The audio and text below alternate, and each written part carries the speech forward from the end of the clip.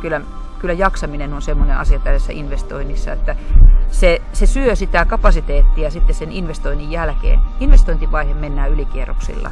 Se menee läpi, sitä on turha pelätä. Kyllä se, kyllä se onnistuu.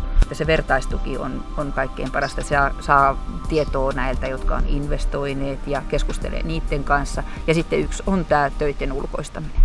Kaikki rutiinityöt, semmoiset, mitä, mitä on pakko tehdä, että saa esimerkiksi eläinlääkärin kuukausitarkastukset tehtyä, tiedot täytyy olla ajan tasalla, niin ne kannattaa kyllä ulkoistaa siinä vaiheessa, että sitten tietää, että on saatavissa ne tiedot ja pystyy tekemään helposti nämä tällaiset työlistat eläinlääkärin kuukausitarkastusta varten tai, tai tota, talousseurantaa varten, niin kyse on niin kuin ensiarvoisen tärkeää tässä alkuvaiheessa. Joo.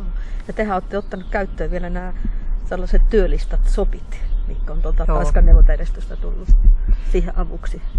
On, ja se on todella hyvä systeemi vaan tota, täytyy joka osa-alueelta tehdä. Meillähän on tehtynä tällä hetkellä vain ruokinnasta ja lypsystä tai niin kuin pehmien hoidosta. Ja tota, ne, on, ne on äärimmäisen oivalliset silloin, kun lomittaja tulee, niin sanoo, että kato sieltä, siellä on kirjattuna seinällä, että miten, miten tämä asia meillä tehdään. Kesälomailu onnistuu parhaiten talvella.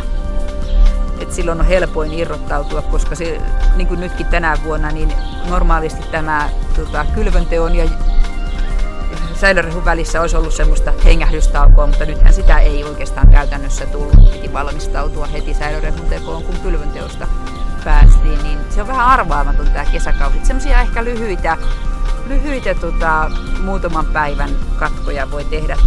Tavoitteena olisi, että hääpäivänä pääsisi ongelle.